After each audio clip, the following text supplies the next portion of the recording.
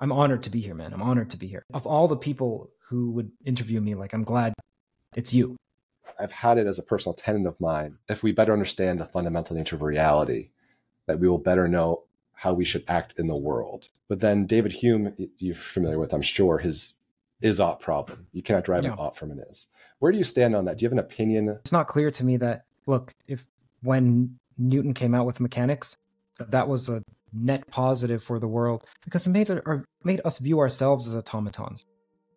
So it's not clear to me that you just describe more and more fundamental reality with physics, say, or something else, and then you get to a more positive ought. I don't know. I don't know why we don't just start with the ought. Like forget about this is something mm. else. Is, is the whole point of toe to then discard toe? There's a mm. saying that you you return home and you know the place for the first time. That's at the end of all the journeying. Is it that you don't answer the questions, but you get comfortable with leaving them unanswered?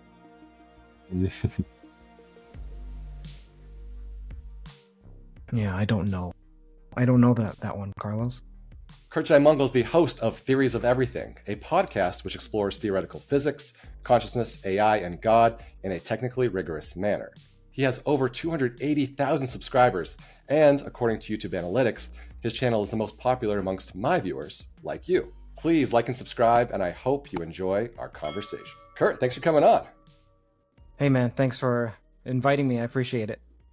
Yes, this is, uh, oh man, long in the making, and uh, so excited to have you on. I'm sure my audience will be a huge, like, very excited to see you.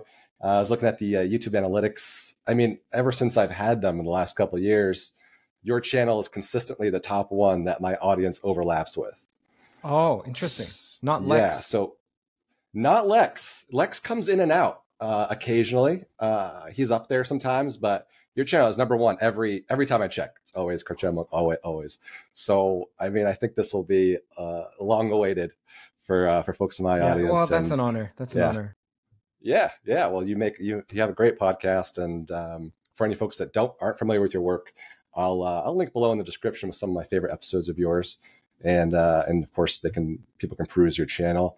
You've got over two hundred eighty thousand subscribers, which is is incredible. Uh, so congratulations to you. I mean, you've just been so so successful, and uh, uh yeah, yeah. Thanks. It doesn't feel like that, but I appreciate it oh yeah, it never does. Yeah, you always have the the goalposts are always moving forward.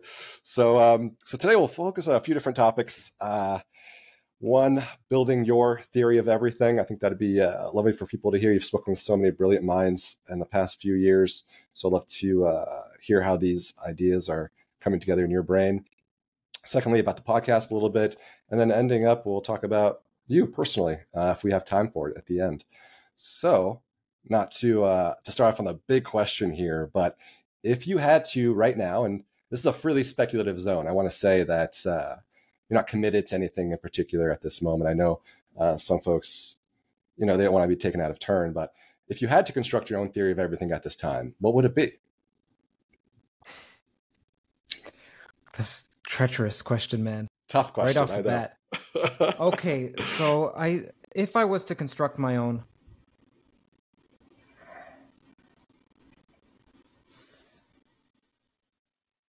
it may be so look there are two routes that most people take. They take well what's the similarities between every toe? That's like the baha'i faith trying to find mm. truth in each of mm. them.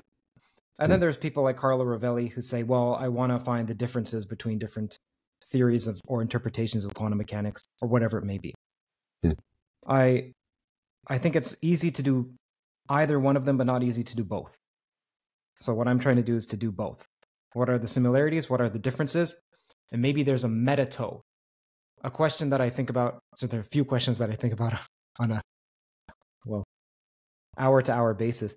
One of them is why is it that we have so many extremely, extremely prehensile and intelligent people disagreeing? Even when they, so people will say, well, they mm. disagree on the fundamentals. People see the world differently. Sometimes they agree on the fundamentals and then they still disagree. They disagree on the interpretation, or they disagree on the consequences, or they have some higher God that they don't want to admit is God, and they're trying to preserve mm. that. So a metatoe maybe. Why is it that there are so many toes? The whole project of theories of everything, just so you know, toe stands for theories of everything for anyone who's wondering mm-hmm. why I keep mentioning that. Is in part for me, in part to either put forward my own toe or for me to convince myself that someone else has a toe that is already correct. Maybe there's minor modifications that need to be made, or that it's impossible for us practically to know a toe, or that it doesn't exist in principle, or that it's not even worth pursuing. So, in part, toe is an attempt to answer any one of those questions. Mm. Yeah, it's a big project, and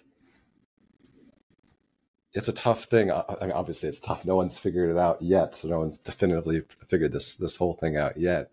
What are some of the although when I asked that question, and when you think about, um, say, certain toes that have stuck out to you, and maybe they're they're folks you have interviewed, and maybe maybe they're not, but uh, are there any ones that you think seem that you come back to?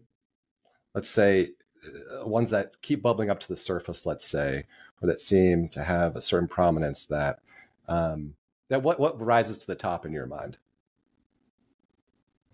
mainly the okay. So there's only there's two broad, hmm. not broad ones, but broad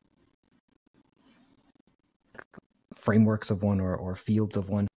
Hmm. So one is if whatever I'm studying currently, that's just at the forefront of my mind. Sure. And then also what I what I don't understand. So I don't understand Bach. I don't understand his consciousness as a simulated property. I think I hmm. understand it, but I don't under, I, I don't feel like I hmm. understand it. And so that comes up over and over.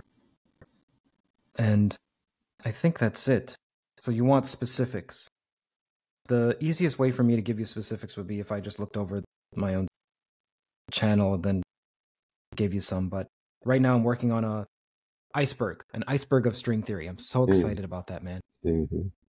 Yeah, it's been a video that's like a week, weeks and weeks and weeks in the making, maybe two months now, two months in the making, more than any other toe video just going through the last 50 years of string theory and explaining the math mm. behind it. So that's super interesting. I'm so excited by string theory. Like mm. I don't believe it's correct, but I I love it in the same way that I love chess. Like I don't believe chess mm. is correct. What do you mean chess is correct? Like sure, do kings yeah. actually operate like that? Queens operate like that? Well, some people say queen can do whatever she wants, so in some way, yeah, sure. but but it's it's just intellectually so fascinating. Geometric unity as well. I'd like to do a hmm. deep dive into. Maybe an iceberg, mm. a hmm. whole iceberg on that. For people who are unfamiliar with the iceberg format, it's one where you explain each topic has several attributes or different subtopics within them, and then you can order them in a way that is the surface level. So it's what most people know about. Hmm, let me give an example. When it comes to theories of everything, so string theory would be there, geometric unity may be there, because many people have heard maybe geometric unity is on a sublayer, layer number two. There's usually about seven layers. And as you get hmm. more and more deeper, you get more and more obscure, sometimes even dark, sometimes more philosophical. And it's where the fringes of the knowledge are at la- layer four. So people with PhDs only know up to layer four, and then some professors know on layer five, and then layer six is just for people. You got to be you got to be a fanatic to know layer six and seven. Yeah. Oh my goodness, I can't wait to see this. I know you've been teasing that um, the iceberg, the, the string theory video, and I think it's going to be like a two-hour long epic thing. Yeah. So very excited to to see that um, when it when it comes out. Okay, so we have we have two. So um, Bach, uh, computational universe, yeah, kind of broadly his idea, yeah. and then Weinstein Weinstein's um, geometric unity? No, I don't think about Eric's much. No. Oh, I'm mixing him up. Oh, who's who's his uh string theory right now? String theory because I'm working okay. on this video, but I am mm. Interested in in Eric's theory. So mm. he explained it to me.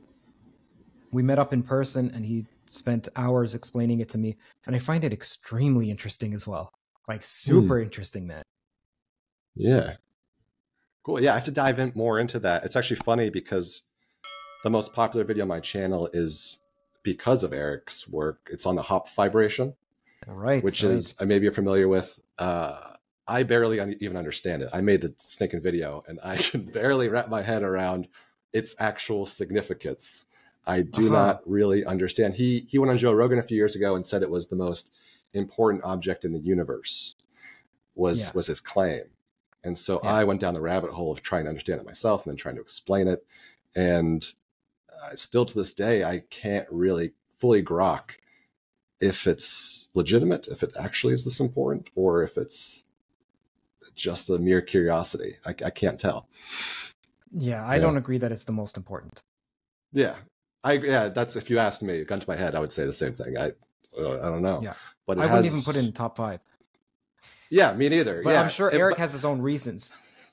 Yeah, I assume so. Yeah, I mean, I just took that too far, perhaps too. You know, in a three-hour interview with with Rogan, you can say a lot of things and kind of be, um, but it's captured the attentions of a lot of people, so that's that's kind of interesting. So geometric unity and Bach got it. So, yeah, and I, can you explain to me stuff. how how is it more complicated than you have a sphere and you put bundle you put a a local product space of S1 on it? Mhm. Like how is it more mean- complicated than that? I don't. I agree. I don't know. I don't understand its significance. I can understand generally that it's a mapping from a hypersphere onto what we'd say a traditional sphere, but beyond that, I don't know why it's important. It has applications in a number of different physics situations, but beyond that, I don't. I don't know. Uh, there isn't. Yeah. There really is no other literature I've seen about its importance or significance. So. Uh, yeah, I just have to trust what Eric says there on it. Uh-huh. Yeah, sorry. Um, but if we might just, uh, so we'll Well, continue. it has an just like- extension. Okay, Oh. yeah, sorry. Please, yeah, no. If you have more, this would be great. If you have a context on yeah, it, sure, sure. that'd so be wonderful. So there's there's I believe S4. So this may be incomprehensible to most people, but the sphere, this regular sphere, if you take it and you just consider it as a shell hollow, otherwise it's called a Mhm. ball, technically a ball in physics, or a disk if you take the the circle version. So you have to you have to take it as hollow. That's called S2. And then if you want to go higher dimensional, then you call it S3. And lower dimensional would be S1, and that's the circle. So the circle, S1, becomes the Mhm. sphere, S2, becomes some higher dimensional version of a sphere, S3, and so on. Then there's S4. And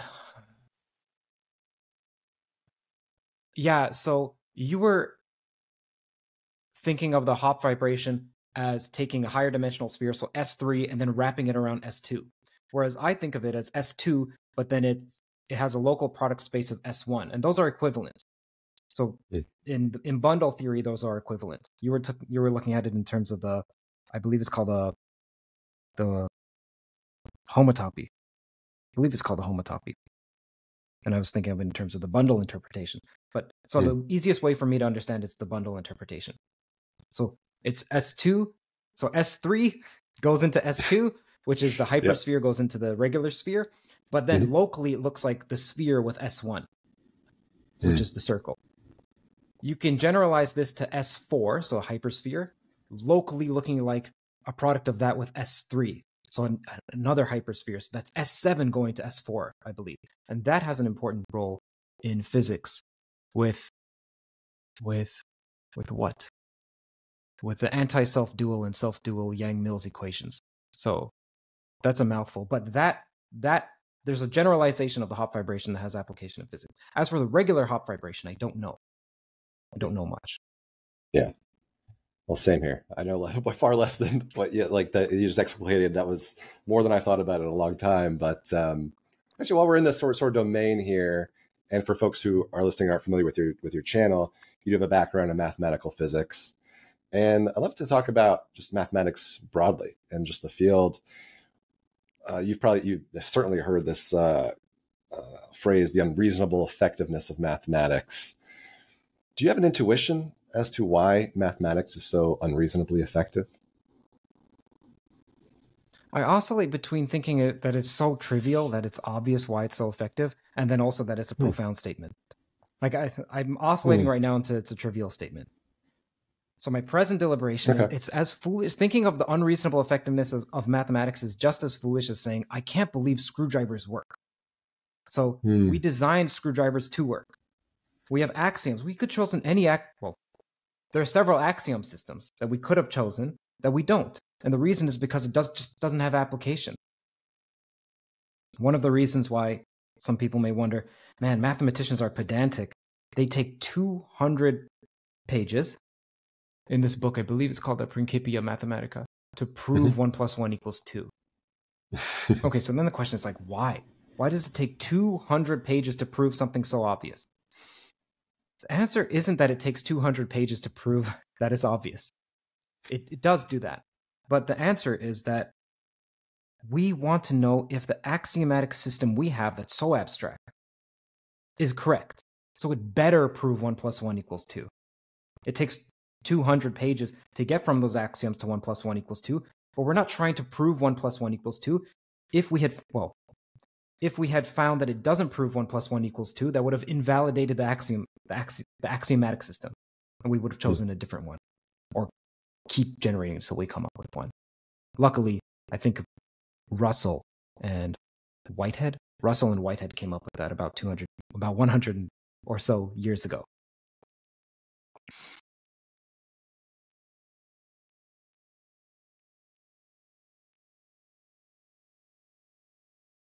If we had yeah, we're there's the physical universe and then we're trying to model the physical universe and we use math to model it but we don't use any math. We just use some parts of math. Wolfram is by the way trying to explore the space of all math. Mm. it's not like really all, yeah. Yeah. Mm. so it's not like it's not like any axiomatic system works. So when people say well why is math so effective? You would have abandoned it if it wasn't so effective it's what's left over that's effective. Hmm. That's interesting. So, so you don't. Um, I mean, I think a lot of people, uh, myself included, probably do elevate mathematics to a certain degree, and that it's. Uh, it seems, uh, say, more fundamental. That's probably too too strong a claim, but uh, its usage across domains seems to, to give it more of a, a greater weight, let's say. Uh, but you don't elevate it. sounds like you don't particularly elevate math beyond the other disciplines or sciences. No, because, well, we could have different logical systems, some that are so hmm. trivial. So right now we say there is no law of the, or there is a law of the excluded middle. And then we have other logical systems where we don't have the law of the excluded middle. But we could have had a logical system where it's just T, like there's just one letter T and then all you can prove, quote unquote, prove are strings of T. And then we think, well, that's just, it's not interesting. Mm. But it's math. And so we don't question, well, what's the unreasonableness effective of T theories? Because we don't even consider that. So when we say the unreasonableness effectiveness, the unreasonable effectiveness of mathematics, we're already considering the subset of math that is effective. So obviously, it's effective. Right, but I guess when I think about it in comparison to, it's really hard to think about it in comparison to other, um, I don't want to say languages, other domains, let's say. Uh, something you study in, let's say, biology. It's really difficult to, mm-hmm. compare between math, right? But something you learn from biology, not necessarily applicable to something you learn in chemistry or physics, or vice versa. Uh, usually it's the other way around. Usually you know there's a bit of a hierarchy in terms of what's dependent on the other levels. But uh, say something you learn from mathematics in one field you can apply across across multiple fields or different domains. Like um, it just it seems to it's like a utility player. It seems to just have all this utility across pretty much every domain you can imagine. Um, hmm so yeah, it's it's it's something. It's it's interesting to hear your perspective because uh, I think yeah, I wasn't expect I wasn't expecting that response. What you're referring to is called universality in math. So why is hmm. why is there so much? Why can you invent something in one field and then it generalizes across several? Hmm. Yeah, I don't know. Yeah, I don't know, but it it seems like yeah.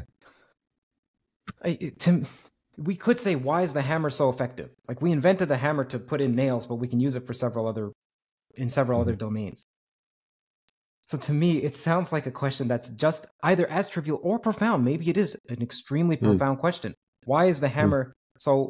Why is the knife so effective? It can cut someone. It can chop celery.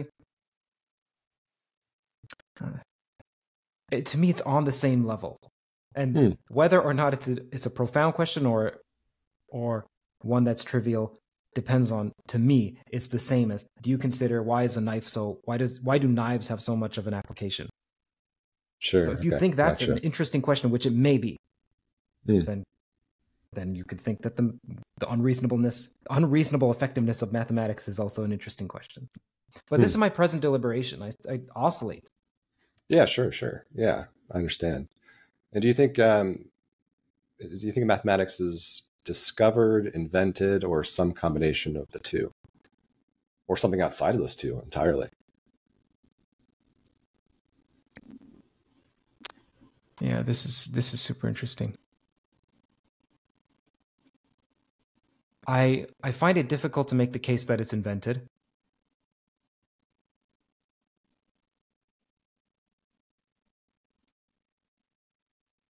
Discovered implies that there's something so you could say that there's a platonic world and that what we're doing is we're touching aspects of that or seeing veiled images as images of it or projections of it.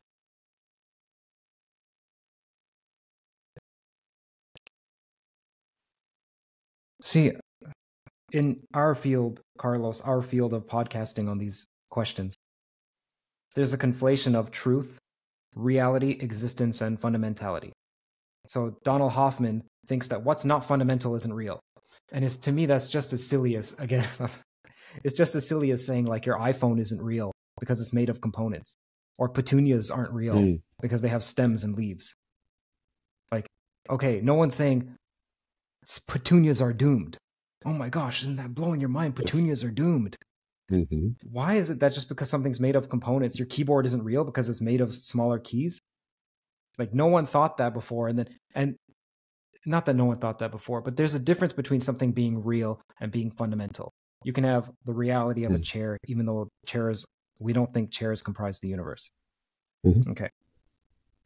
So there's a conflation of reality and fundamentality. Then there's also a conflation of existence and real. The question that I think about is can you have something that exists that isn't real? Now we think, well, let's just define existence as what's real, or let's just define what's real as existence. So, firstly, then you have a tautology. But secondly, or Mhm. circular, a circular reasoning. Yeah. But then these are also different words with different historical roots. And I think it's extremely left brained of us, even though I love anal- analyticity, uh, you and I both. It's extremely left brained of us to keep abstracting and abstracting away until we just find commonalities and everything's an undifferentiated mess that's in this Hmm. chaotic disarray state of whatever some people think the universe emerged from. But it's all but what I find interesting is also to find the delineations. What are the differences? See, the right brain, the left brain likes abstraction and to see commonality. That's one of the reasons why racism is associated with the left brain, with left brain thinking. Because I'm going to treat you just like any other member of your race. Whereas the right brain likes to see distinction and particulars and likes to see you as a person that's different than someone else, some other person.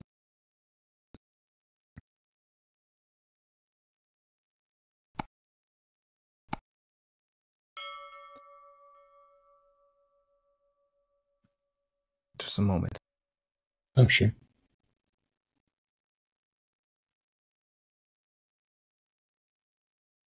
Math, in some sense, is just being more and more abstract.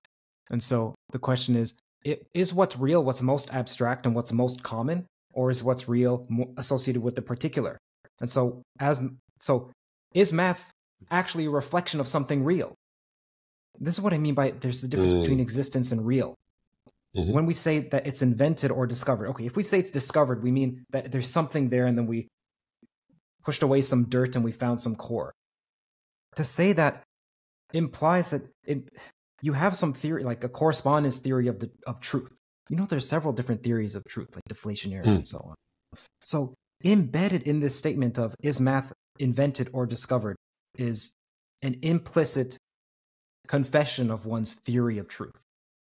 I don't have a, a settled on theory of truth, so it's extremely difficult for Mm. me to say is math discovered or not. It's also I'm also comfortable saying that it can be a reflection of a platonic world, but the platonic world doesn't exist.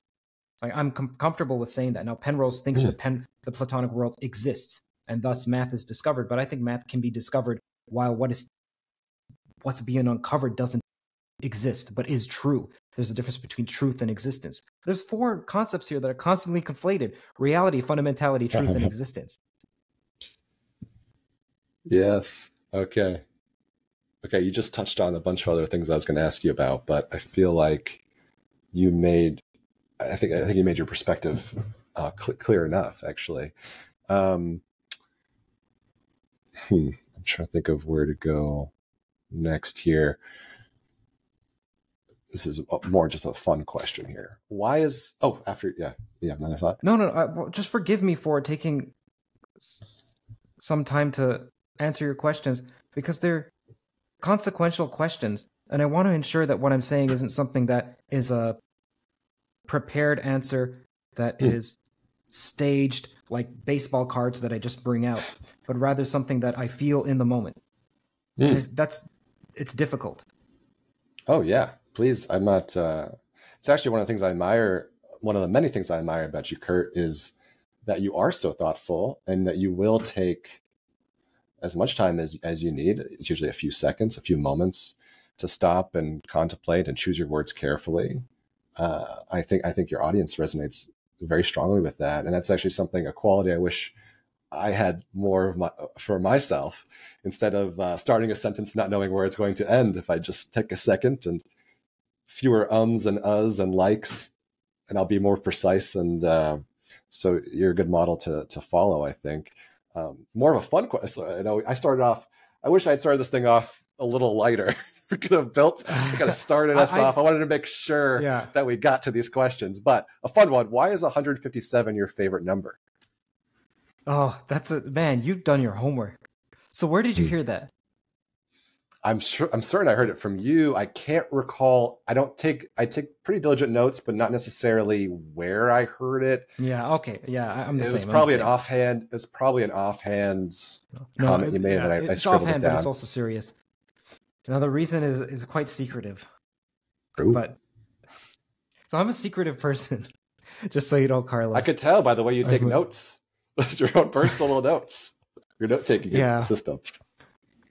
Yeah, it's it, it's not secretive out of privacy. It's it's something else that I haven't put my finger on. It's not protection. Maybe it's distinctiveness. I don't know. I don't know. But the reason for that, so I have a, well, I can tell you a bit off air about that. Okay. Sure. Yeah. I'll just take a note of it. Yeah, for sure. Um, I'm very comfortable. Any question? And please, I, I should have but, okay, but there's also con- there's this there's also synchronicity with that number. So mm-hmm. one of my favorite courses in university was MAT 157 at the University of Toronto. Hmm. So that's the first year real analysis course. It's your first, like, you get talk about going in without lube when you just went into this podcast with the hard questions straight away. Sorry. Yeah, no, that that's the TOE podcast as well, and that's MAT one five seven as well.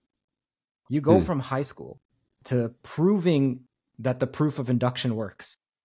Like it's extremely theoretical. It's your first taste of actual math. And it's one of my favorite courses, MAT one five seven. MAT one five seven. But there are several. There are a couple other reasons. Again, I'll talk to you about mm. them off air. Absolutely, sure. Um, I'll probably I'll, maybe I'll interject some of these lighter things in between some of the harder, because as you pointed out, these are these are questions that aren't easy to answer. If they were, then they weren't wouldn't probably worth be worth discussing in the first place. The but I do want to touch back on something you said about truth and um, funnily enough, this my channel used to be called The Truth with Carlos Farias. That was the initial for the first couple of years of my channel. It's actually what I named it. It was more of a placeholder than anything else. But after a while, I found that it was just too haughty and, and it was just too bloated and yeah. had all these. And also, I don't think necessarily, but I think this actually might be counter to something I, I heard you say on an AMA that I'm not sure that objective truth whatever we could say that is, is actually the highest value or is even in the tier of the highest values. But I would love to know where sort of your position on that is and what does truth mean to you?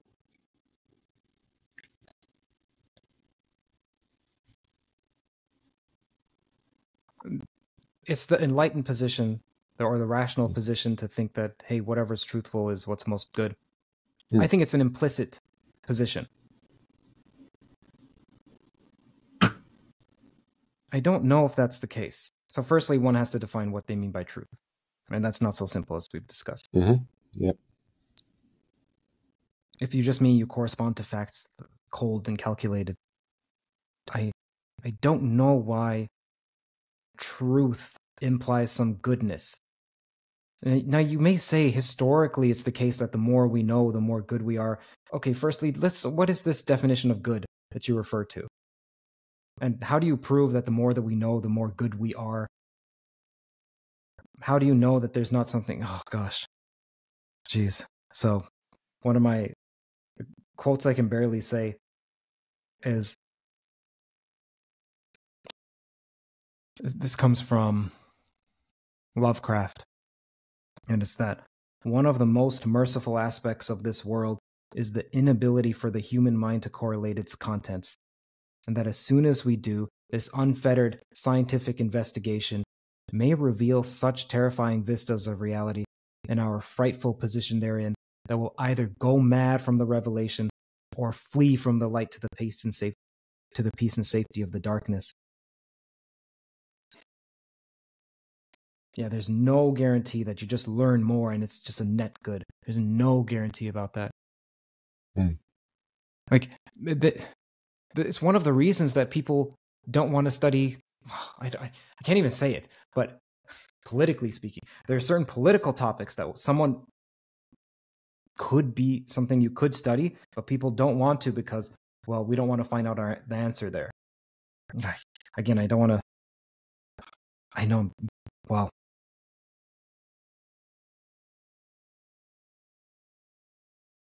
yeah to me it's just not it's not clear at all it's not clear so something is more valued than truth or you can just say you want truth for what? You can just ask someone for what? They say for truth's mm. sake? What does that mean? You want truth for truth's sake? Most of the time they'll say because it's it leads to some better outcome. Okay so why not pursue that better outcome? Okay because the best way to pursue it is with the truth. Okay is that guaranteed? What if it wasn't the case? What if someone made the case that is not Oh, okay. And I get a bit frustrated about this because, see, just like there are buzzwords, there are these buzz phrases that people use, like, like, pursue truth, or I'm a truth seeker. And Mm.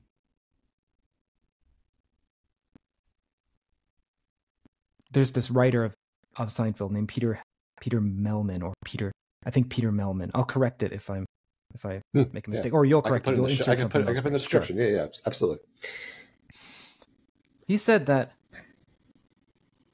there are different storylines in Seinfeld, like the the one about the car, the smelly car with the the the the bus no the, the valet who- the valet who went in and funked up the car for the rest of the the Yeah, show. yeah. So there are different storylines, and the story is that someone in the writers' room they would always pitch Larry different stories, and Larry David would say like, "No, no, no, it's not good enough, not good enough." And then someone was just telling them about telling him about their day, and then he's like, "That's a Seinfeld episode. That's a Seinfeld episode right there." The guy didn't even think about it like that. And Peter Mm. Mehlman said Larry was great at picking up on what would be a great storyline. Like someone snubs you because you ordered a salad and not something more substantive at the restaurant, and so the waitress is a bit upset because of the tip. Like Larry, Larry David would Um. pick up on it like that, and it would just go over most people. I think that part of one's calling in life can be you can phrase it as what what is that filter that you have that sieve that you have that net that you have that nothing escapes it almost nothing escapes it but it escapes other people. So for me i have a similar observational bent as larry and and and larry david and seinfeld in the sense that like i'm, I'm just a, I'm, I'm observing, but I'm not an observational comedian. Like I'm not in comedy. Hmm. So something that I, that stands out to me like like a like a splinter is when people say phrases that they are saying because they're intellectually posturing or that they want to sound enlightened and deep and profound. And they don't know what it means or they've heard it from somewhere else and they're copying it. Mm, it just stands out to me like that. I see it on mm, in written text. I see it in different interviews of people. I see it in myself. When i'm being interviewed maybe that's why i see it. Because i i'm i'm such a harsh critic of myself even though i don't think i'm a harsh critic but I mhm. think that's part of being a harsh critic. It, I'm I'm a critic of myself, and so I see this quality in myself, or at least I see it in my former self, and it it takes took years to to minimize it, and it becomes so blatantly obvious in other people. It just doesn't pass my filter. I, I see it with many, even some of the guests that I that I interview. Well, Yeah. more so, I see it in in other podcasters, not you. Oh, yeah. don't worry. Oh, don't worry. shit. No, no, you're like no, it's Like, okay. It's no. okay. no, no, no. I feel like many podcasters become podcasters because they want to, not because they care about the ideas, but because they want to be a thought leader, and they see Oh, this sure. as somehow getting the credibility of the guests that they Mm. interview, and that people will want to hear from them more and more and more. Mm, So, yeah, Yeah. different incentive. Anyhow. Yeah. Yeah, you mentioned this kind of reminds me of something that you'd mentioned on an AMA that um, it's like when you're watching a film or television, you can you can spot lazy dialogue very quickly. Like throw away when there's just something, it's just not meaningful. It's not progressing the story. It's just and the most. I mean, separately, if you're talking about podcasts in general, and I, I think most media just cut it books, TV, whatever you want to art. 99% of it is not worth consuming, in my opinion. There- There's so much of it. I mean, that's a very critical statement. Don't get me wrong. I'm not Yeah. saying that my stuff is in the 1%. I'm not Uh, claiming right, that at all. right. I'm not claiming Sure. that. Um, but I do think a selective, a sort of a selective uh, filter is a good thing. Although you, you meant it in, in a slightly different way. The one of the things I wanted to ask you about was, yes, when you were, I, am not sure if you're still directing any films or if you have that um, any near term plans to do that again. But um, I did want to ask you about because I watched I'm Okay. I Oh, watched boy. that. It was early. It was last year at some point, but I Oh, did boy. watch it. That's- And I, well, I mean, because you bring up, and I thought while watching it, this is some combination, or maybe I might be stealing a quote from a, a snippet someone said, a combination of Woody Allen and Larry David's, something like that. It's, that's sort of the um, the thought stew that was happening there, and I I enjoyed it. I mean, I know we had this back and forth a little bit. You said this. cringe, I think was the word you used. Yeah, Um, jeez, Louise, man. Even you bringing this up right now. If I No, but white, I'm gonna I'd be red. If you don't mind, I'll, I'll link to it in the description so folks can actually watch it if they want to. Because I know you don't you don't talk about it on the on the podcast that much, and understand. I mean, you're talking about other things, other topics. But I wanted to talk about that experience perhaps a little bit, or what did you uh, what did you learn from? If you have any learnings from that from that uh, that production? Oh gosh. Oh boy, this is the most uncomfortable uncomfortable question. Great, Okay. wonderful. Let's see. Yeah. Yeah. Well, it's much harder to make a a film than I thought. I remember when I was filming that, I had I thought I knew what it's like to work hard. Uh, This happens so frequently, like Mm. even with this Mm. podcast. I thought I knew what it was like to work hard until I did the film or until I did the podcast, but we're talking about the film. Mm. There were times where I didn't even have it takes like 10 seconds to check your messages. I didn't even have time to check my messages unless it was directly related to work. I remember going to sleep. It takes me so long to fall asleep. It took me like an instant back then. I was just so exhausted, filming all day, waking up, immediately going to work, and then immediately finishing. I set myself this unfathomable goal of finishing a film in 60 days. So finishing the filming and editing of a feature film in 60 days of one that's not something I don't of one that's not something trivial like you film in one location and it's one long shot because then that needs Sure, yeah. minimal editing. Hmm. Yeah, so that was that taught me what it's like to work extremely, extremely formidably. Another is that you shouldn't feed people pizza constantly. I was so cheap, man. I had this small budget, and I and everyone would come hoping that there's this is this is something on film sets, by the way. Do Yeah, not feed sure, sure. Pizza. It's known. Mm. It's like a joke that you're not supposed to. That your your your food on set is supposed to be substantive, and I would Mm. just give them pizza every time, and they would be so disappointed. I Oh, would God. because I'm I could I love food, but Me too. Yeah, I'm with. I'm on the That's same one. track as you. That reminds me of a book I read when I was a kid. I don't know why I read it because I don't have a, a directing impulse or an artistic or creative. Well, I have a creative side, I guess, but uh, it was called "What They Don't Teach You in Film School." It was like 130 lessons or tips, and I, I remember devouring it as a child. Just being like, "This is really interesting." The the behind the scenes, and they talk about yes, what kind of food to to feed and to actually feed your Mhm. people, how they expect it. Um, yeah. Uh, who? What else Well, I guess you from that book. I mean, that was a long time ago. I remember just soaking that up. You remember just random things you read as a kid that you're like, why did that? you were interested in being a filmmaker before.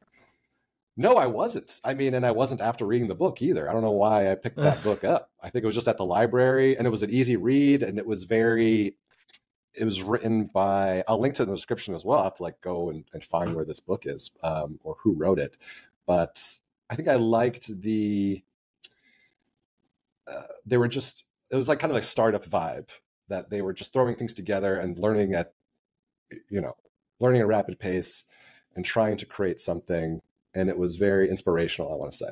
I remember being just just being in awe of like oh this is i didn't realize i was probably 10 when i read it and i didn't realize even what a director was of like oh there's a president of a movie like they get to decide oh okay they're they're organizing the Mm. whole thing so um it opened my eyes to just that that frame now we're all we we have some exposure i think to a lot of people do anyways the production process and, and how, that, how that goes to be but um but speaking of Oh, projects here's something though- else I would learn. Sorry, quickly. yeah, as so just please, yes, yes. specific. A specific yeah. lesson is pay more for the actors because the actors carry the Mm. movie. So Mm. mine didn't have known actors or even. Well, I don't want to disparage anyone, but it's not as if acting is the strong suit of that of that film. I think the writing is not bad and the directing is not bad, but the the, the acting, including on my own part, by the way, I was in the film, so it's not the it's not terribly great. Yeah. No, I think I pointed out to, when I messaged you about it last year It was uh, my favorite parts. I think the script writing, yes, and the cinematography, um, some of the shots in particular, uh, was really kind of st- stuck out, and I thought they they were excellent. So, oh, speaking of projects, um, are you currently writing a book on paradoxes, consciousness, and free will? How's You've that going? done your homework, man. Jeez. Yeah. Holy moly. Yeah. So people who are watching this, if you don't know who Hmm. Carlos is, I'm sure you do. Like this guy, this guy studies, man. Hmm. Yeah, I'm writing a book. I'm, I'm it doesn't have a publisher. I'm not it's it's to get my own thoughts straight. This is something that I've seen. So sometimes people come on the show or come on any show and then they're like, yeah, they're just promoting a book. And then they'll Hmm. call someone a grifter. I'm like, that's a, a phrase that needs to be eliminated from someone's vocabulary. There are a few hide bounding repudiational words that just limit you Hmm. that I think should be eliminated. I keep a catalog of them. Anyhow, I used to feel that way as well. Like, oh, they're just promoting their book. Until I start to look more into it. Number one, it turns out writing a book is one of the worst ways to make money. Oh, Because sure. in terms of hours Yeah. per what you get Mhm. back. Number two, writing is such a great way to sort your own thoughts out. One of my favorite books is Gödel Escher Bach by Douglas Hmm. Oh, same here. Yeah, you got it. Oh, Yeah, right, right, right. I have the same one. Same one. always in arm's reach of this book. And that is just that to me is like the epitome of what it is to Mhm. write a book, where you see Mm. someone wrestling with ideas on the page and then coming to a conclusion. That to me is like it's not only book writing, it's art. It's when you don't know what you're doing and you're trying to do something and you're exploring it through the process of writing or through the process of filming or through the process of painting. Jung would say if you knew what you're doing prior and you kept sticking to that, that was that was what he would call propaganda. Mm. So he thought propaganda was more than political propaganda.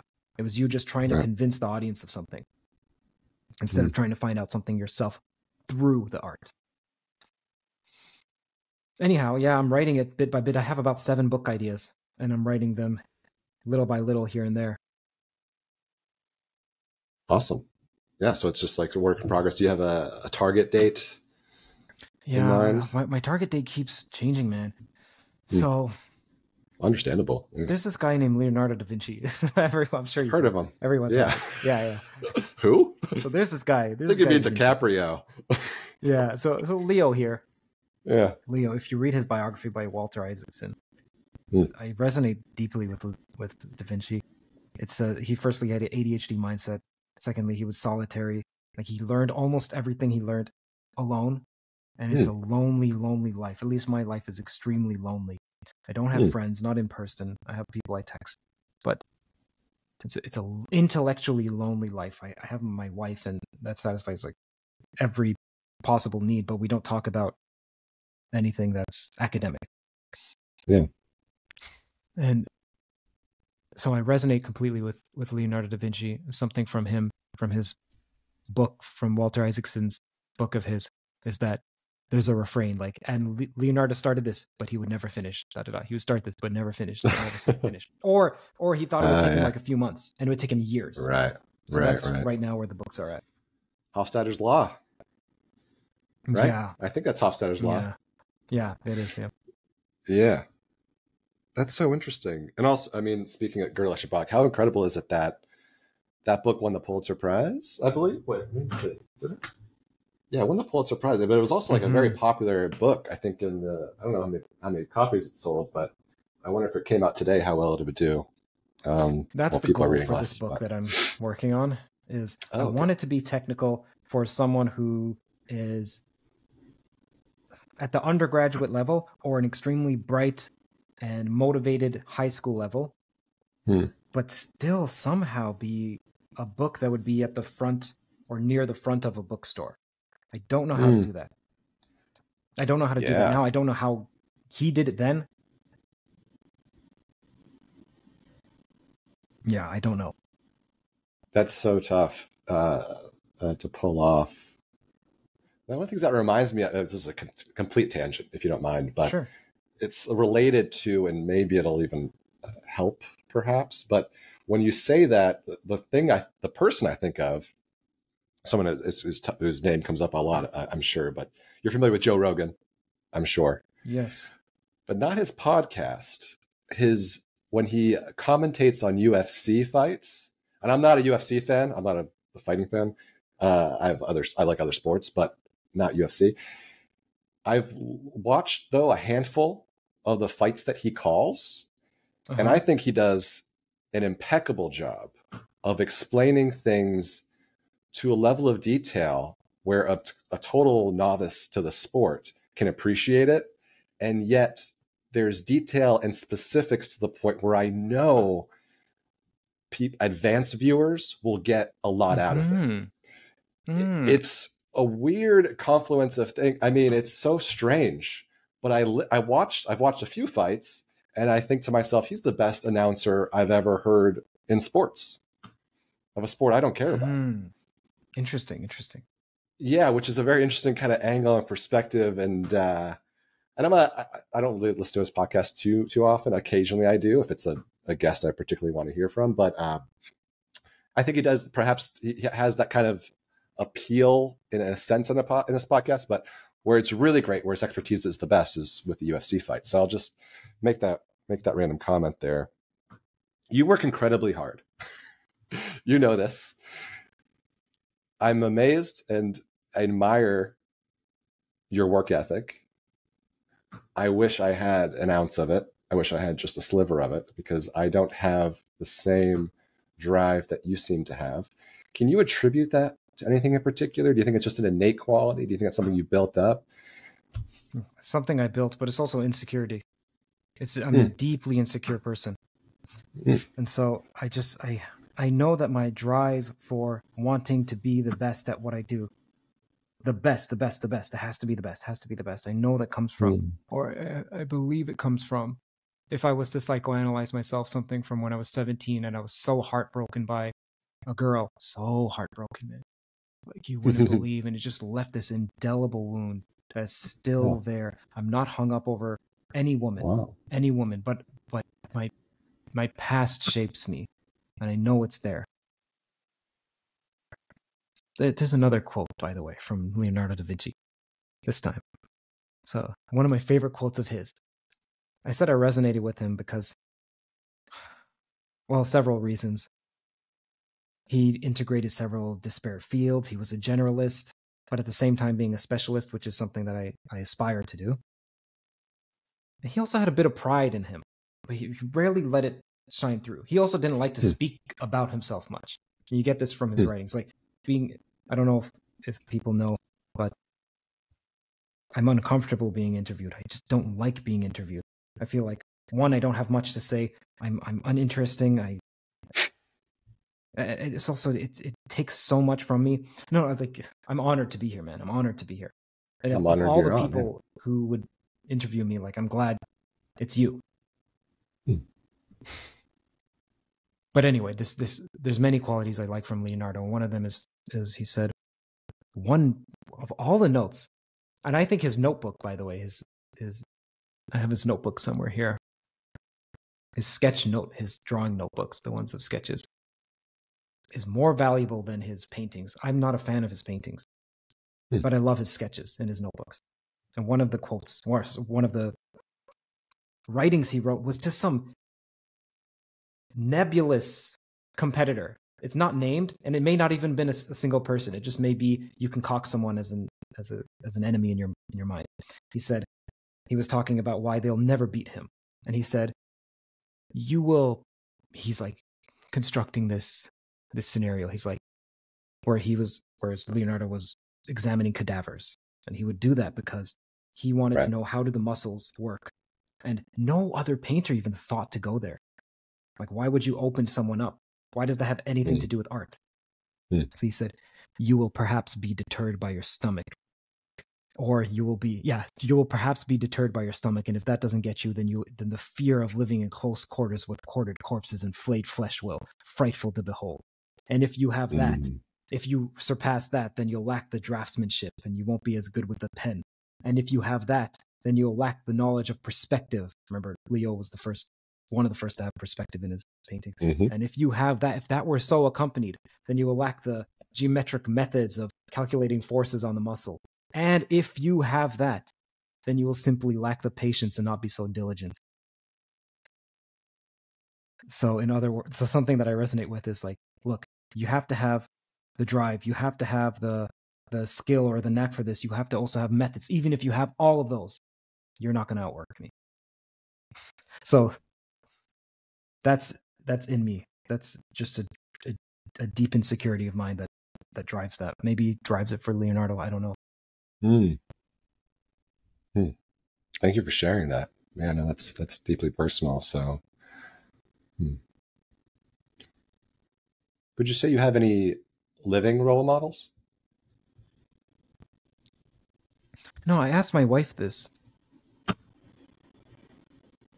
And then she said Andrew Huberman. I'm like, babe, I don't even talk about. I just talk about Andrew Huberman about the sunlight, but I talk about it so frequently because I'm like, we need to Get get more sunlight, in our into eyes. your eyes. Yes. Yeah, I'm like, babe, I don't even talk about Andrew Huberman other than the sunlight, but I do it so often. She's like, hmm, maybe it's Andrew yeah. Huberman.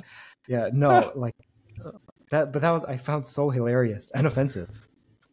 Hmm. Oh, ouch! Burn, But- Huberman. But no, no, no, no, no, no. no, no, not- I know. just- just I, I, I, no. Yes. No, there's nothing against Andrew Huberman. I think he's like one of the best, if not the best at what he does. I remember when he Yeah, was first doing his podcast and it was lectures. I don't even know why he called them podcasts, but I guess you can label any long form content where you talk as Mm. podcasts. And he was doing so. And I was thinking, this guy has the best, the best podcast, the best. And I, yeah, he has the best. Yeah. Anyhow, I don't even Yeah. watch his podcast or I haven't in a, in a long while. So it wouldn't be Huberman. No, it'd be a far cry from that. It, it, I don't know. I don't know. I think that there's a couple. Yeah, yeah. So I'm rebelling against something, Carlos. I'm Hmm. I'm rebelling against my former self, where I was so uncreative. I would just imitate. I would find a role model or two and imitate them. And I think there's like I think there's three stages of learning or three stages of life. One where you imitate, and then the second where you you inculcate or you integrate. That's that that's another buzz phrase I don't like to use, but integrate. And then the third is that you individuate.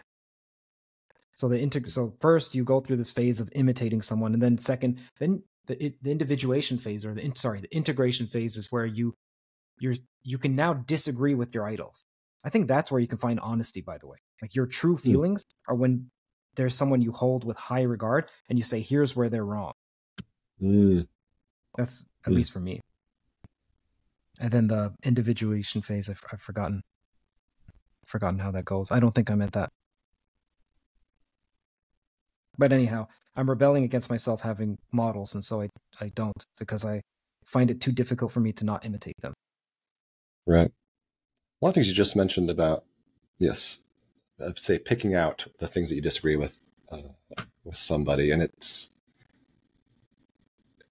related to something you said earlier, or perhaps a thought I had while you were speaking, is that uh, uh, from personal experience, when I, because I, I think we we have a lot in common here. You've mentioned on AMAs that you're quite judgmental, or that you once were very, very judgmental, and I, I've, I think I feel the same way. Uh, something I'm working on, trying to get better about. But when I'm observant about the things like that I criticize in the world, mostly exterior, let's say, Mm-hmm.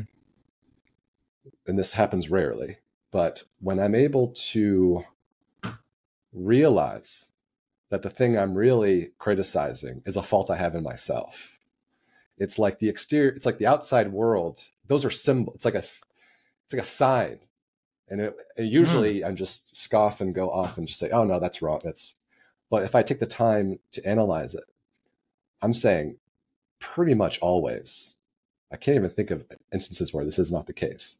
I realize, oh wait, I've done that. I do that all the time. Mm. And actually, bec- because I've noticed it, it's like this weird. It's like a, a reflection or a mirror of something that I need to work on. Um, it's something. It's so prevalent and so common that, and perhaps it's just my own experience.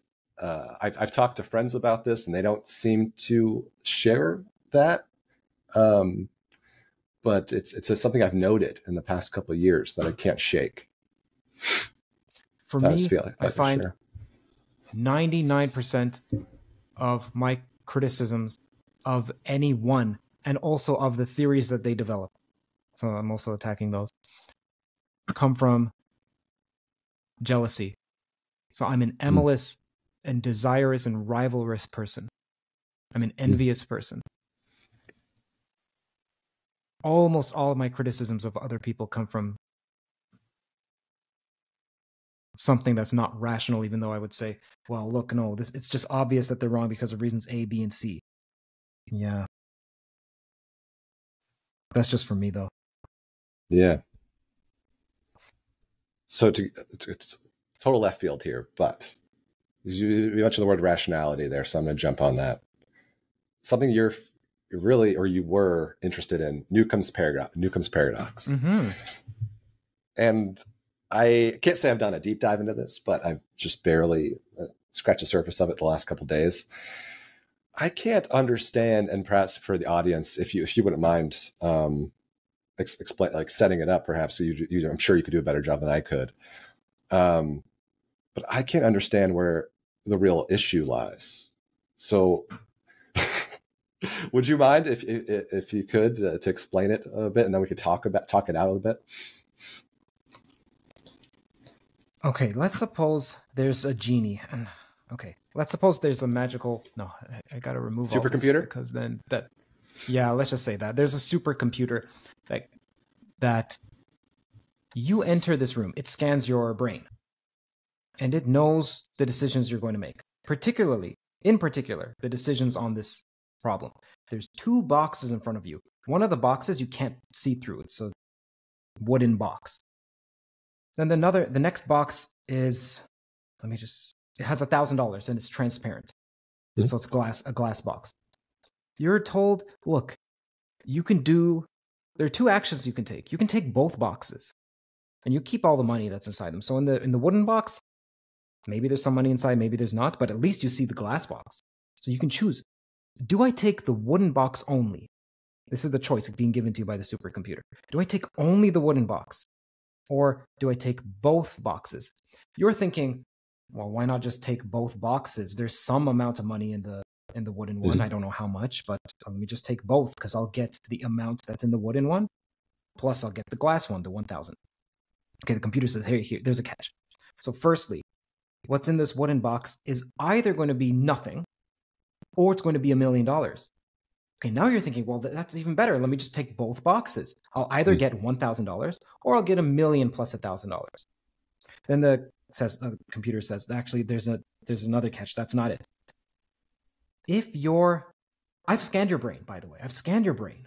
And I figured out if you're a greedy person. If you're the greedy person that 1 million doesn't satisfy you, you want 1 million plus 1000, so you try to take both boxes. I've actually put nothing in the box. So I'm going to punish your greed.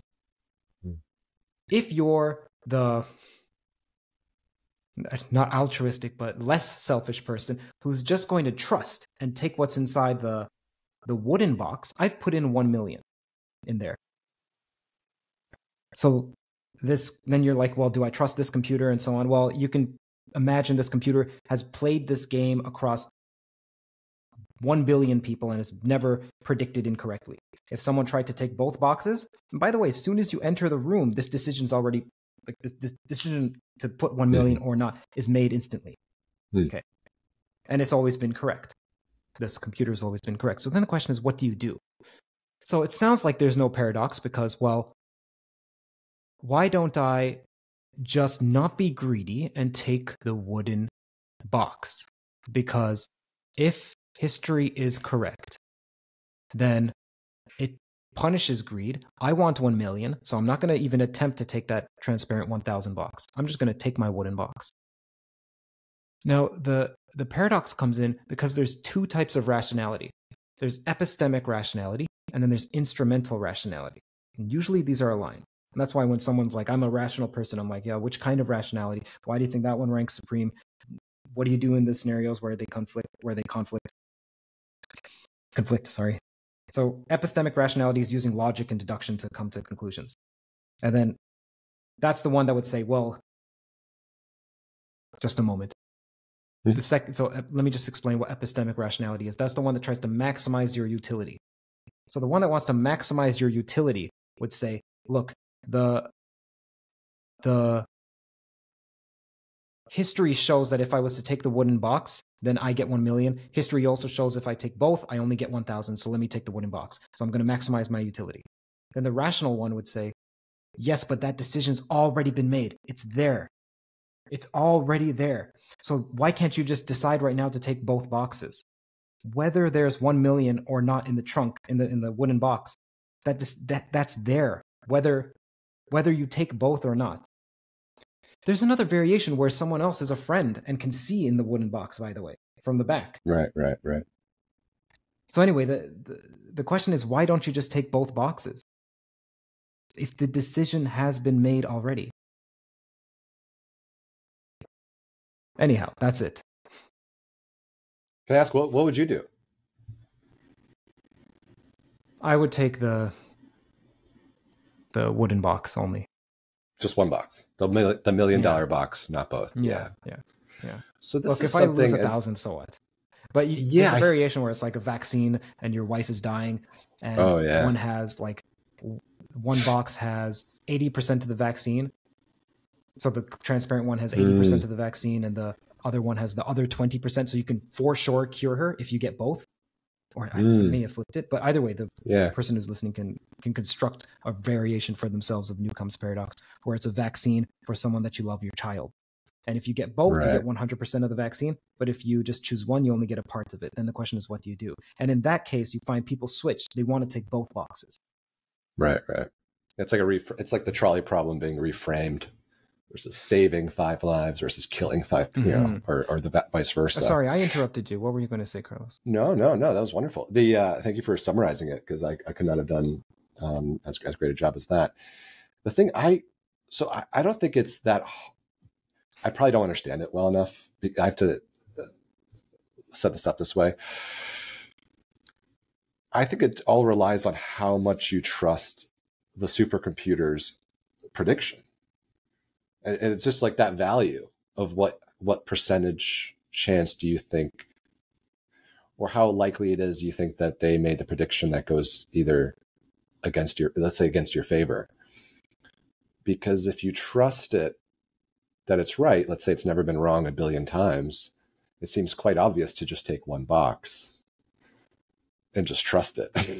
I, I i don't really see i, I feel like there's really simple math that would just say yes just take the one box i i can't wrap my head around why you would ever want to take both.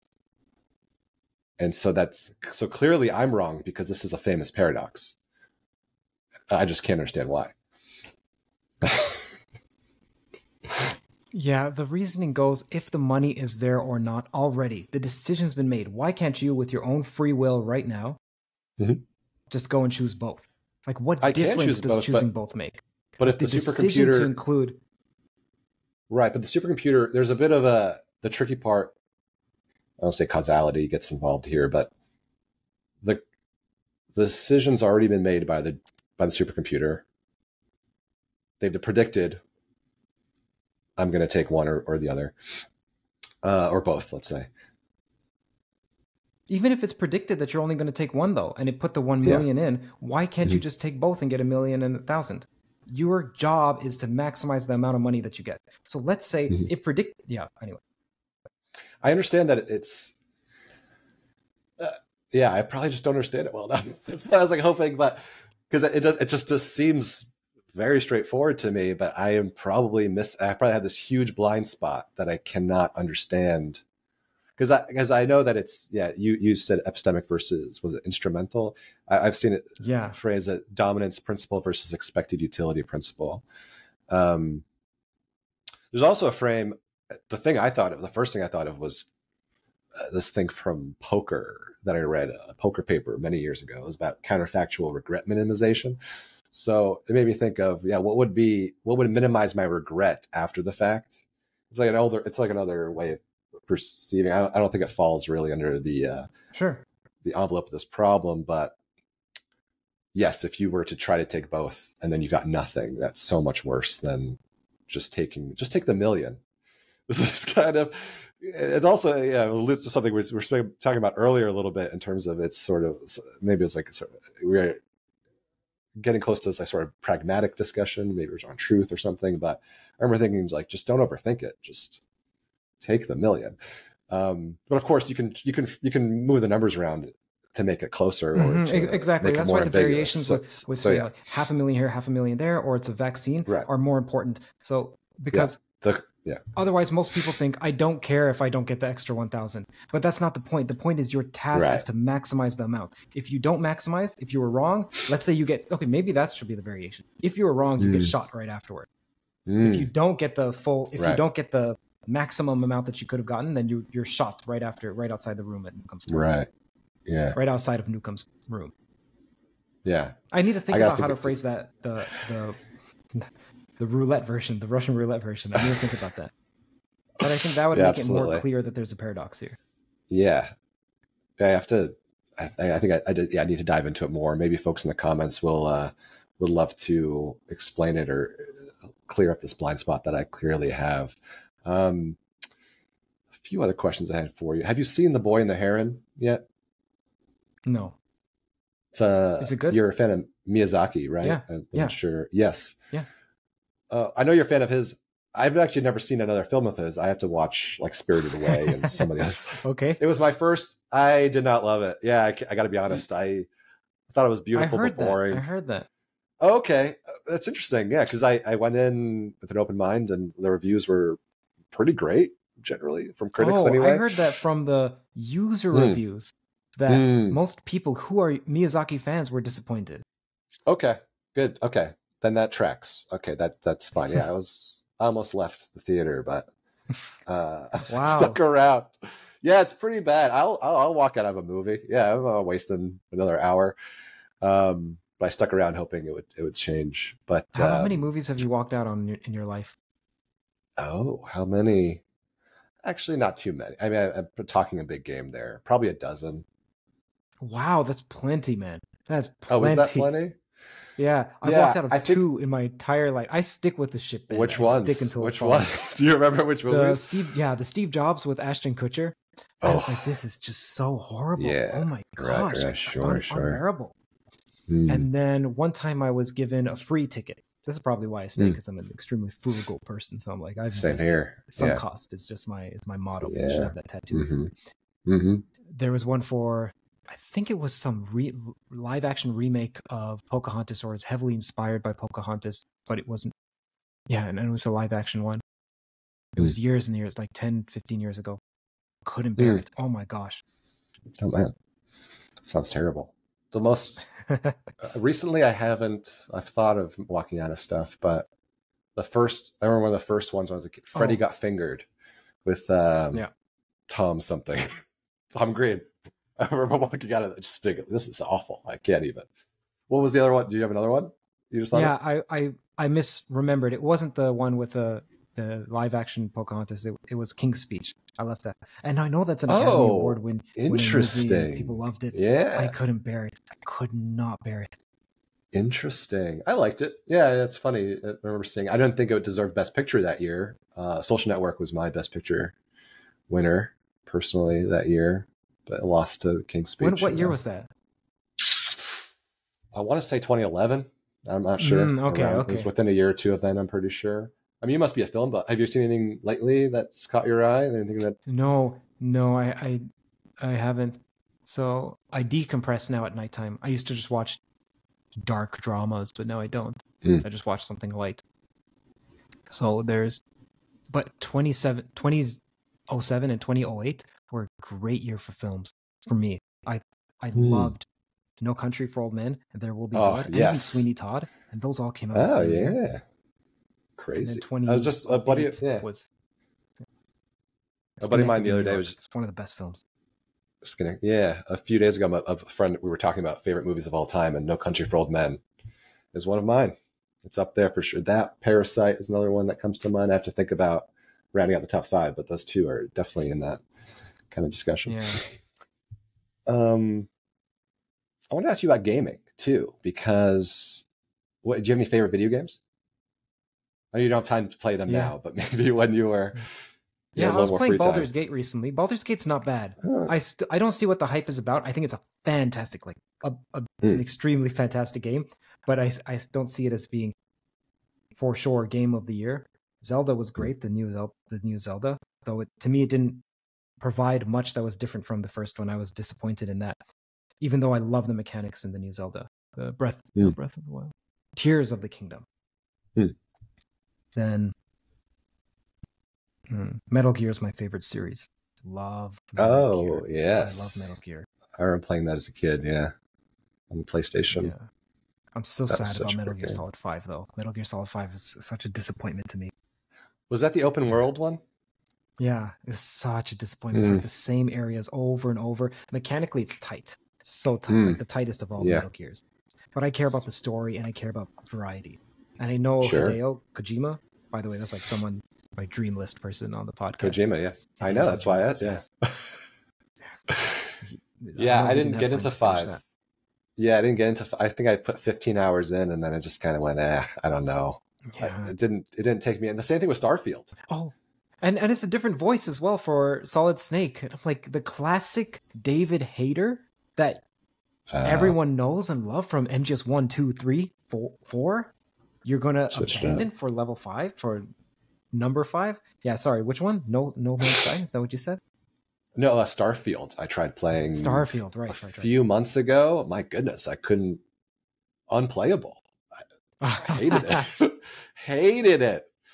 I mean, load screen after load screen. Just what is going on? The Yeah, I, another one I put 15, 20 hours, 20 hours and yeah, it was too bad. Do you like, do you ever play Skyrim? Love Skyrim. Love Fallout. Fallout is, it goes like Metal Gear mm. Fallout. I just, like, I, so you, I don't listen to music, but I enjoy, thoroughly enjoy 50s and 60s and 40s music, mm. music from that era because of Fallout. Yeah.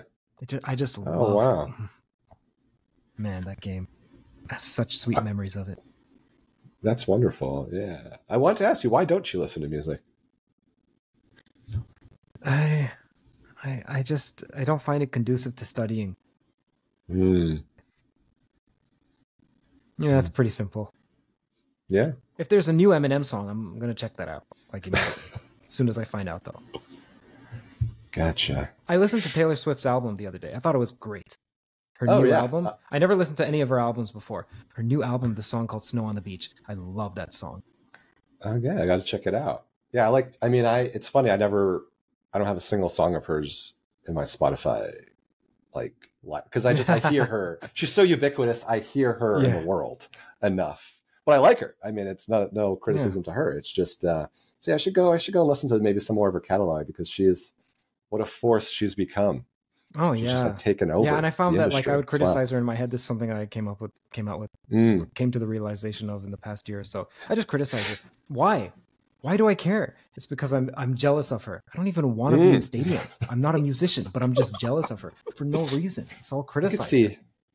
See, why not? Theories of everything and uh, mega stadium. You know, you could you could pull it off. That'd be cool.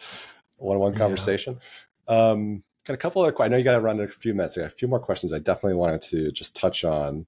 First is, do you ever find yourself questioning reality and then you snap back to it, remembering that hey, you have nothing planned for dinner? yeah, that's hilarious, man. That's that's they should be paying for this one. They should be paying. That's HelloFresh. That's one of the sponsors. Ouch. So yeah, not a sponsor. I think podcast, you were. But... No, no, but you were. You were talking about the success of TOE and then i said it doesn't feel that successful. And that's because it's for the past year it's been such a struggle financially man like so much of a struggle. Like so i'm unnerved and frazzled and overtaxed and overburdened and taut and high strung because there was some issue with not sponsors not the sponsors. If you see a sponsor on TOE if you see a TOE sponsor and you like them go check them out but the people who bring the sponsors they take a cut mm. and then i had mm. people who were bringing me sponsors who got other people bringing them sponsors and then a third one so there was like a 30% oh my 30%, gosh. 30, and then i was seeing almost nothing i still owed thousands of dollars from something which i can't even talk about and because like i have a contract that i'm not supposed to speak poorly about something i'm not even allowed to go sure. find my own sponsors so now so it's just been Yeah, but anyway, thanks for bringing up HelloFresh.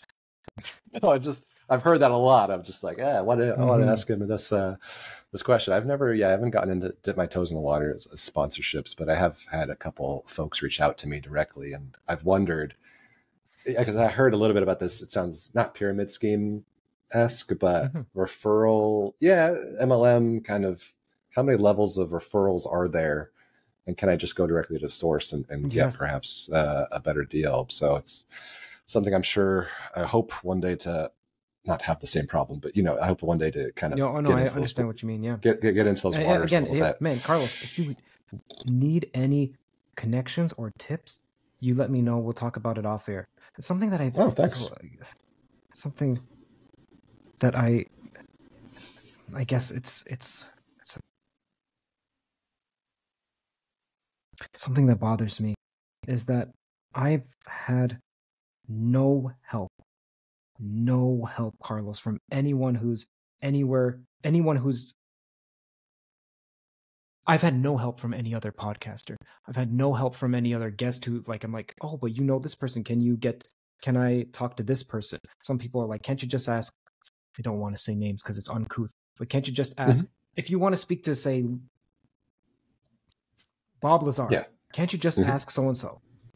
Doesn't work like that. And secondly, every single time that I have, it just doesn't doesn't go through, and I feel so horrible. I feel so alone. Like I'm making this, I'm pushing this boulder. I'm trying so hard over and over and over every single day, over and over and over.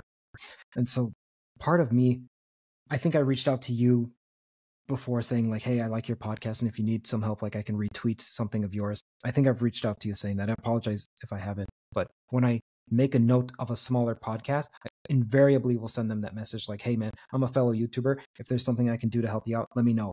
And and I'm doing that not because I'm a great person or I'm altruistic, but because I'm so hurt inside. I know what it's like to be a small person where people won't even say your name. They'll quote you, they'll quote a podcast of yours, and they won't even say. And that's, by the way, is from Theories of Everything. I'm like, oh my gosh, man, you have it so well, and you you don't know what it's like. I, I don't live in Texas. I don't have. I don't live near anyone. I don't have these connections. It's not like I can go out to dinner with some people and, and just meet people spontaneously or so I'm so I'm bitter about that. I'm bitter hmm. and hurt about that. Hmm. But anyway, we can talk. Like, yeah. again, Carlos, if you need any help, yeah. If, if there are some guests of TOE, appreciate that. easy for me to make yeah. an intro. We'll talk. Thank you. I so appreciate that. And actually, I feel similarly in terms of, uh, and this is something that I have to do a better job of, or I, I could at least make attempts to be better at um, because it does feel like a lonely pursuit for myself as well. I don't have anyone in my social circles that does anything like this. Um, but I also don't. I live in New York City, so um, perhaps yeah, at this location there are. I can imagine there are probably a few more people that are doing something similar, or they're nearby um, that I could reach out to. But there's an idea I had actually. A few channels that are similar in size to myself, and also similar in topic that I'm I'm going to reach out to soon. That maybe we could do like a challenge where we have like I'm about forty thousand subscribers, and these channels are as well. It's like first to hundred thousand subscribers, you know, wins some prize. You know, the, you know, a handful of channels, and so that could kind of get us together in a way where we're, you know, in good nature competing with each other to grow our channels quickly. Because mm-hmm. at least for myself, I mean, I think it's interesting uh, the financial pressures that exist for this. Now I make I make very little, you know, on this in this pursuit so far, and it's because of my size and you know all the other things I could be doing. But um, it's funny because like the drive, the like financial drive, even though I need to make money to live, isn't as strong as it sh- should be or could be. you know what I mean? And I think it's perhaps a, a question of like motivation and um, I'm talking in circles here a bit, but it's something that I need to do a better job of because I, I, feel the same. I feel similarly in that, uh, yeah, I don't know anybody. You know, I'm, I'm, gaining a network, sort of. Every every person I speak with, it's another um, potential avenue. But I don't ask, and I maybe I should uh, ask folks I've had on for warm intros to, you know, people of a you know in a more exclusive tier, let's say, to try to get on for guests uh, it's something I wrestle with as well. So um, I feel you. If you find success in that, let me know. I haven't.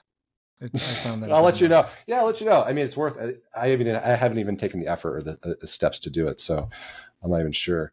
Before we wrap up, I do want to ask you sort of more concrete question, and I know we kind of we started off very hardcore and uh, very high level and abstract in a lot of ways. I do want to ask you a question because it's something that I've I've had it as a personal tenet of mine that um, if we better understand the fundamental nature of reality, that we will better know how we should act in the world. Um, but then David Hume, you're familiar with, I'm sure, his is ought problem. You cannot drive yeah. an ought from an is. Where do you stand on that? Do you have an opinion uh, about that frame? Present deliberation is then depends on what one means by fundamental nature. And it's not clear to me that look, if when Newton came out with mechanics, that that was a net positive for the world because it made it or made us view ourselves as automatons. So it's not clear to me that you just describe more and more fundamental reality with physics, say, or something else, mm. and then you get to a more positive ought. I don't know. I don't know why we don't just start with the ought. Like forget about this is something mm. else. Is is the whole point of TOE to then discard TOE? There's a mm. saying that you You return home and you know the place for the first time. That's at the end of all the journeying. Is it that you don't answer the questions, but you get comfortable with leaving them unanswered? yeah, I don't know. I don't know that that one, Carlos. Yeah, it's a tough one, but I love that response though, because that that speaks to that speaks to me for sure. The idea of the the hero's journey, for turning back uh, to where you came Mm. from, to where you left off, you you having changed, and you having brought back something you've learned from your experience in the extraordinary world, that special world. Yeah. It just seems to, it seems to me to be the case that that's the process that we just keep on doing is over and over and over again, going out, seeking, learning, coming back, sharing what we've learned, having a good meal, being with family and friends, and then doing it all over again. It's it's dangerous though. So, the Hobbit in Lord of the Rings, Frodo, Frodo, Frodo subverts that because he comes back home, but while he is out, this is something that just impacted me so much. Of the whole story of Lord of the Rings, that he gets stabbed with him. I think it's called a Morgul blade. It's a special type of blade, and it hurts him, and he has to go get healed by the elves. But then at the end of the journey, when he's home, he's there for a couple years. He always touches here occasionally because it stings. And then he ends up having to even leave home because there are some wounds that are so great, they never leave you. Yeah, that's that that touches me, man. It's dangerous to go out adventuring. It's not it's not always guaranteed it's a net positive. Well, in that case, he did save the world. Just Mm. sacrificed himself.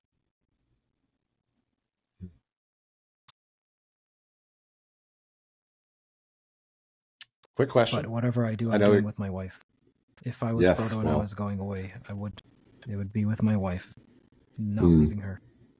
I'll I'll suffer through any pain. I'll suffer through ten of those blades. Anyway, It's wonderful that the love cuts that deep. It's wonderful. I would. I tell my wife all the time, I will love you even if you're a speck. Like if there is nothing mm. left of her except this little dot that I carry around, put in my little pocket. You're my my pocket babe. Then I'm just going to carry you, and you can glare at women like you're not having him. You're not having him. Great, good. Stay there. That's so wonderful. That's so lovely. Thank you, Curt, for sharing that. Well, I'm going to ask you one last question. The question I ask every guest on the show at the end if you could go back and give your 20 year old self one piece of advice, what would it be? Ah, yeah, it'd be work harder. Oh, God. Just, you work just hard enough. an indolent, unindustrious, Mm, feckless rodent, scoundrel. Hmm. Work harder. Yeah, for me. I know Oprah always says like, yeah, if I had advice would be relax. Yeah, you can say that because you've gotten to the point where you have attained success. You have no idea if you would be at this level if you didn't feel that drive. You have no idea how people say, "Oh, my I'm going to think about what it's like when I'm 90 and do the rocking chair test." How why is that perspective somehow a privileged perspective? Why do you think that perspective is not going to color? Mm. Anyway, Yeah.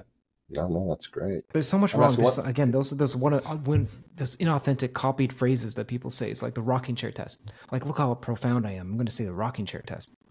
Like, I don't think people think about what they. I mean, I don't think people think. Some people. I don't think some people think about what they say.